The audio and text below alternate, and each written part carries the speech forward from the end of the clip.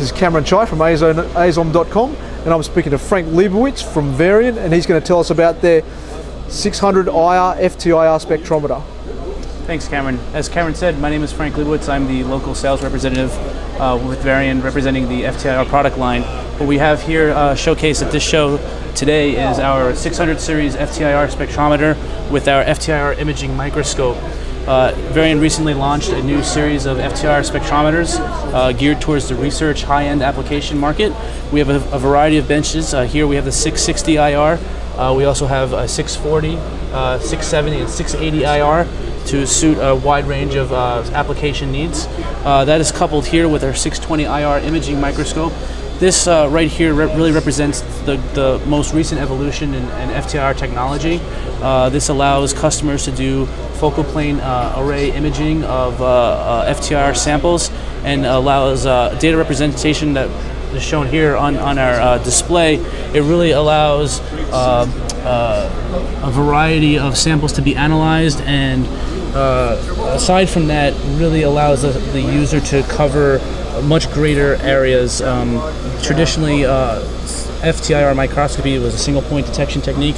Uh, focal plane array imaging really allows for a wide area, uh, up to 700 microns by 700 microns to be covered with a 5.5 micron spatial resolution.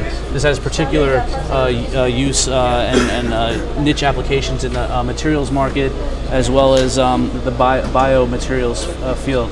So again, it's, it's really sort of the, the next evolutionary step in, in, in, FTIR imaging, moving away from just single point detection to, to a, a large um, picture, if you will. Um, again, the, the Varian benches, um, this can be, this FTIR microscope can be coupled with a variety of Varian benches.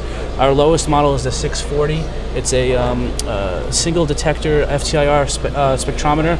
Here we have the next level up, a 660 FTIR spectrometer, which is a, um, a multi-detector configuration uh, spe uh, spectrometer. And then from there we move into our, our real high-end research grades. Uh, the 670, which is a um, air-bearing based interferometer two inch optics, really high throughput, uh, world class research grade instrument.